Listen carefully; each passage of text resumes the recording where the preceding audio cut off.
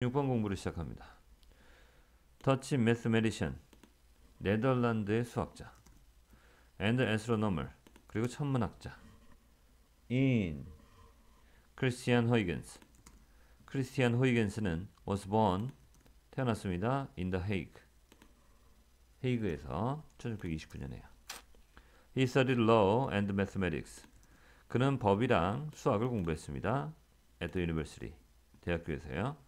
And then 그리고 난 다음에 devoted some time 시간의 어느 정도쯤 약간의 시간을 조금 헌신을 했습니다. to his own research 자기 자신의 연구에다가요.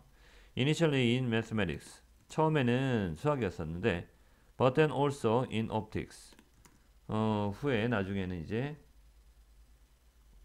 어, 광학에서도 조금 이렇게 공부를 했습니다. Working on telescopes 망원경을 연구하고요. Grinding his own lenses.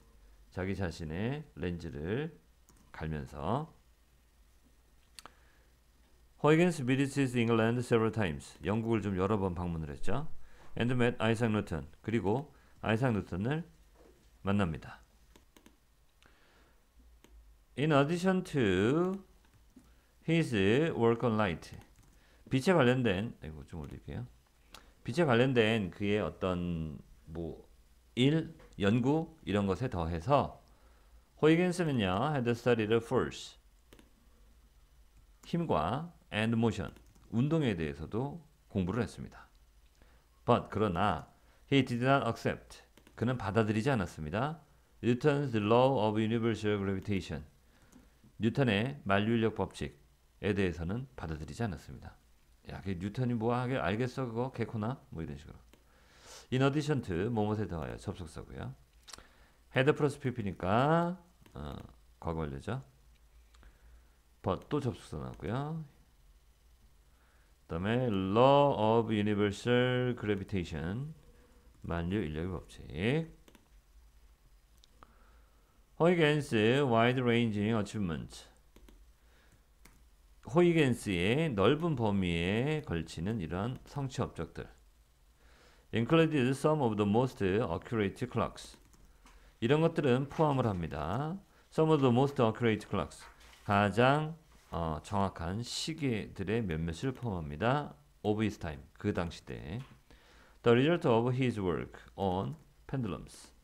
펜들럼에 대한 그의 뭐에 대해서 펜들럼에 대한 그의 어떤 작업의 결과로서 당시대 때 가장 정확한 시계의 몇몇을 포함을 합니다. 그러니까 얘는 이제 펜들럼 때문에 조금 떴단 얘기겠네요. 그죠?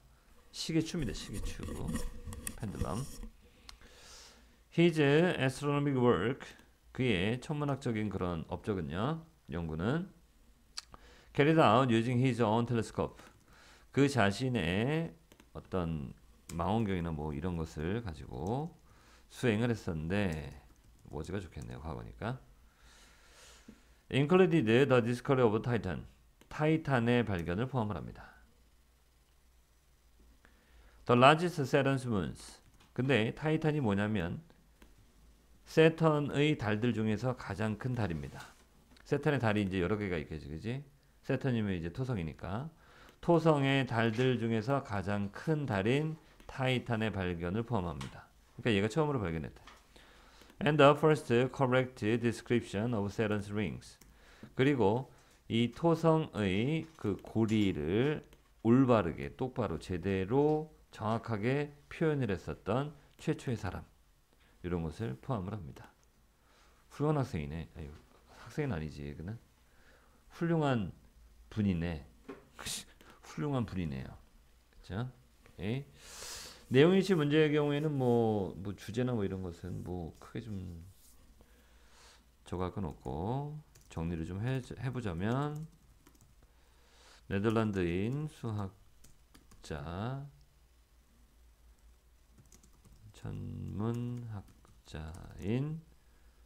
네덜란드의 수학자 및 천문학자인 호이겐스의 업적 업적 이 정도쯤 하면 될 것 같습니다. 뭐 주제문들은 따로 나올 것 같지는 않고요.